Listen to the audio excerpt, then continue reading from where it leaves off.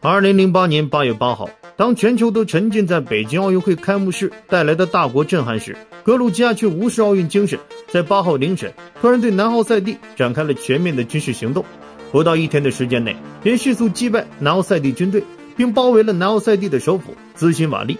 一个俄军维和士兵得知开战的消息，为了救出自己在边境线上的家人，急忙朝着前方的坦克亮出自己的维和标志。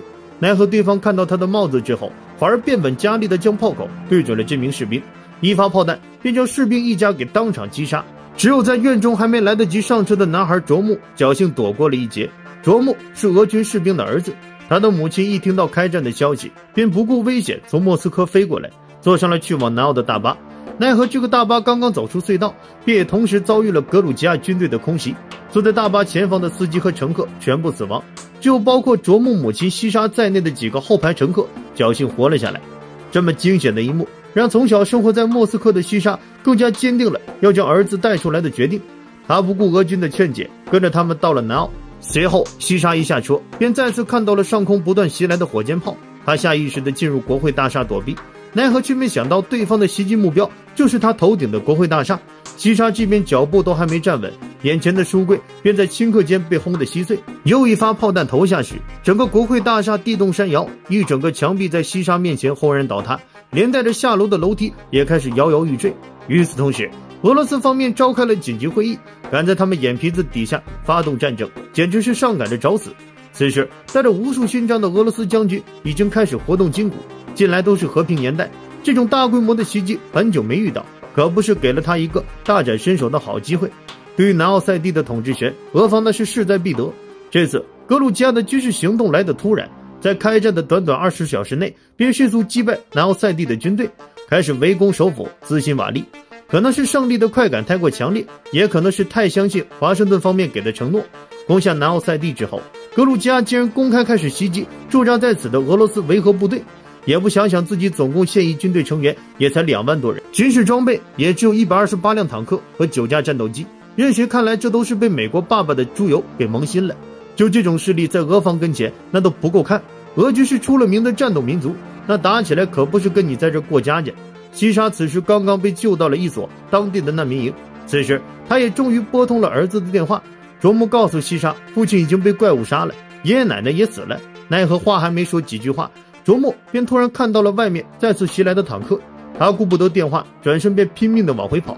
听到卓木无助的声音，西沙想往战区去救儿子，可他一个平民根本进不去，只有战地记者才会被放行。于是他借着和记者合影的幌子，偷偷爬到俄罗斯电视台的车上，偷了一个记者证。拿到记者证后，便疯狂跑到俄军队伍跟前，想要跟着他们进入战区。奈何对方看着他手中的男士记者证，便有些傻眼。别说名字了，连性别都对不上号。对此，西沙尴尬一笑，解释道：“可能是证件太多，被公司搞错了。”俄军军官仔细看了他一眼。如今这到处都是兵荒马乱的，搞错了也情有可原。就这样，西沙顺利坐上了俄军的坦克。坦克小队一进入小镇，便遭到了俄军火箭炮的伏击。在楼上埋伏的俄军维和小队见状，当即拿起狙击枪帮助同胞反击。两方战火一触即发。俄军坦克小队被迫停下保护平民，一直没见过战争的年轻士兵吓得躲在坦克后面，大汗淋漓。二十一世纪本就是和平年代，这种规模的真枪实弹，没被吓尿，他都想给自己说句棒棒的。无奈之下，军官让士兵带着西沙几个平民藏在坦克一侧，让坦克掩护几人爬窗进入民房。但好不容易爬进去，里面竟然有一队隐藏的格鲁吉亚士兵。俄军大汉见状，一刀子便朝着对方扎了过去，白刀子进去，红刀子出。战斗民族就是彪悍，奈何这插刀子可没人家火箭筒快。几人还没看清周遭环境，一发火箭炮便朝着他们再次飞了过来。几人当即被炮弹干晕在民房之中，死的死，伤的伤。再醒来时，西沙身在一个不知名的平民集中营中。他爬上屋顶，看着外面的断壁残垣，心情十分绝望。卓木此时已经一个人度过了一天一夜，他想要快点确定儿子的安全。此时，南奥的通讯已经全部瘫痪，电话根本打不过去。他便试着发送视频短信，而就在此时，西沙竟然发现了儿子传过来的视频。看着儿子脑袋上的伤口，西沙转身便冲出了民房。他根本无法想象，面对从来没有经历过的战火，他的儿子会有多么恐惧。哪怕迎着硝烟，他也要挺到卓木眼前。从民房中一跑出，高出一个格鲁吉亚的狙击手便对准了西沙的脑袋。好在强大的主角光环加持和西沙下意识的蛇形走位，这狙击枪竟然愣是没打中。而同时，这一幕也被隐藏在暗中的俄军维和士兵靓仔看到。靓仔咬牙看着这愣头青在外面横冲直撞，直接出手将西沙带到了自己的营地。当初西沙从大巴上下来，便是靓仔将这个女人送到国会大厦附近。已经一天过去了，看着她还在傻乎乎的往外面跑，靓仔一时间不知道该说这女人是幸运还是不幸。知道他要找儿子，靓仔知道劝不住，干脆也不劝了。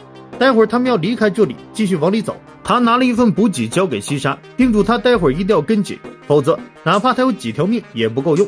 一上车，西沙便缩在了吉普车的角落里。这路上哪哪都是格鲁尼亚的伏兵，众人也无暇顾及他。吉普车一边往前走，靓仔和队员们一边左右侦查。出发没多久，前方便猛然落下一枚火箭弹，狙击手当即从吉普车上冒头开始反击。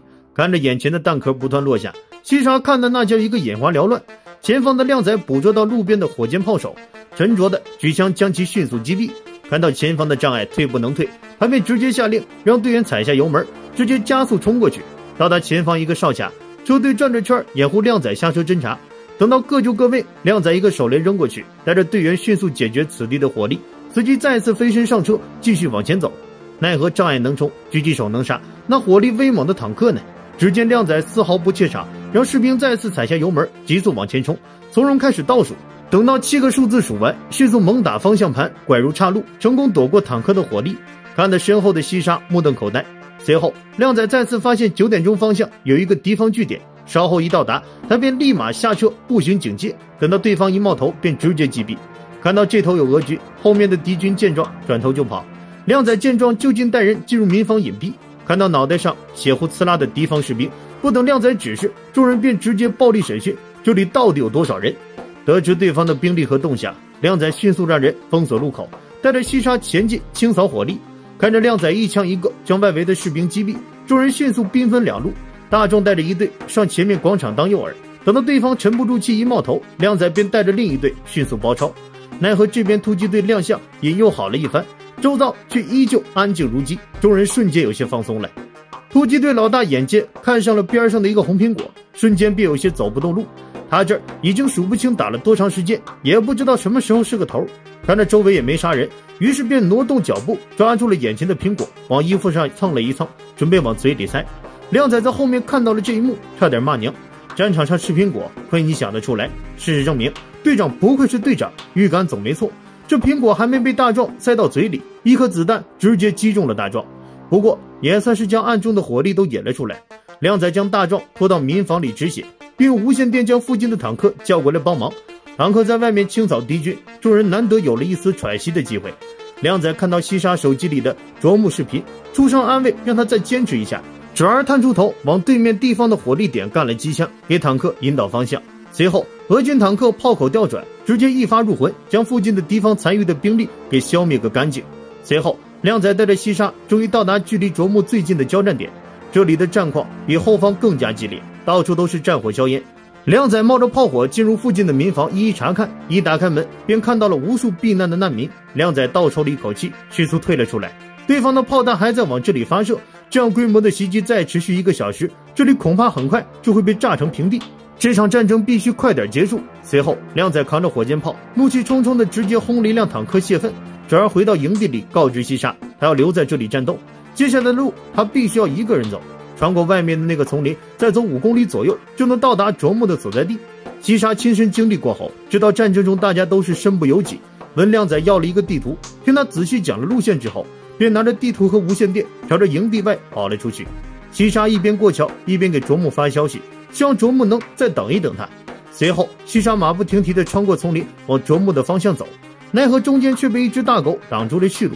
眼见这只狗朝他汪汪叫个不停，西沙怕惊动附近的格鲁尼亚，连忙蹲下和大狗商量：“你要不放我走，我就直接抓走你那俩狗儿子。”谁知这大狗还真的听得懂人话一样，瞬间没了声音。西沙见状，迅速跑了过去。途中，他看到了几个正在修车的格鲁尼亚军人，吓得西沙大气不敢喘一下。悄悄摸边躲过对方的视线，终于来到了卓木的家门外。奈何一抬头，却看到了正冒着浓烟的房子。西沙急得直接冲了进去，找遍了整个房子后，才在外面的草窝里找到已经晕倒的卓木。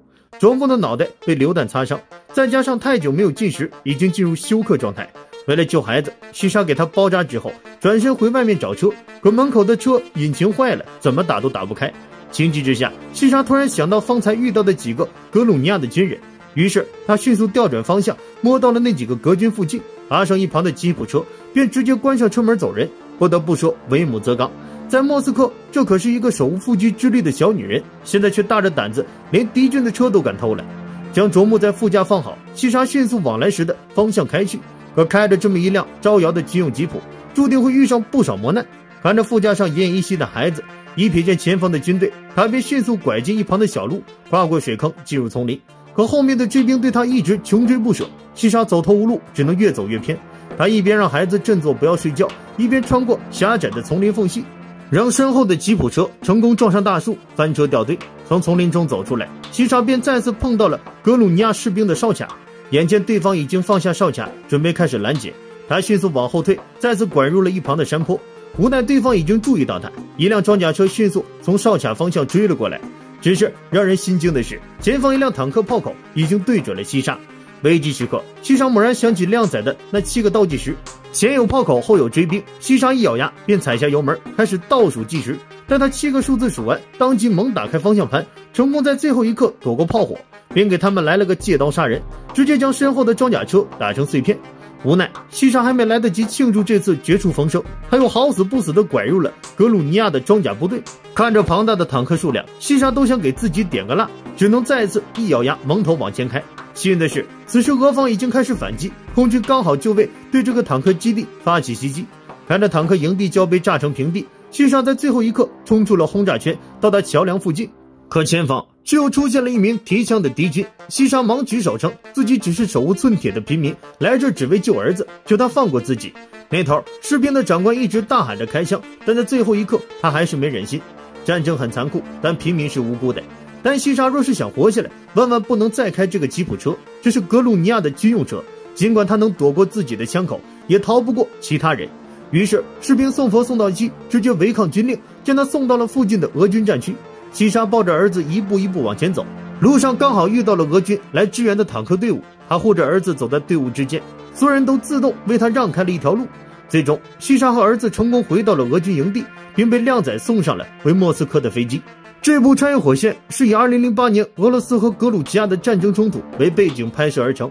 尽管格鲁吉亚军队在奥运会开幕当天的进攻十分成功，但相比较军事实力而言，这俨然就是在以卵击石。可能是被西方爸爸给洗脑了，以为自己能一战成名。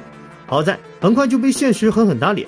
俄罗斯军队从和联邦总统直接下令开战到各种军事准备，只用了两个小时，不负众望，发挥出了极高的作战水平。